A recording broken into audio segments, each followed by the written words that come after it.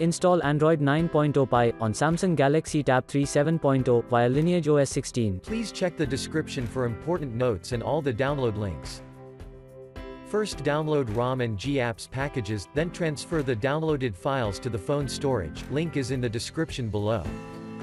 Step 2. Boot your device into TWRP recovery. Once in TWRP, click on Wipe, Advanced Wipe, and select the check boxes, as shown in the image, excluding internal storage. Step 4. Swipe the button to wipe the device.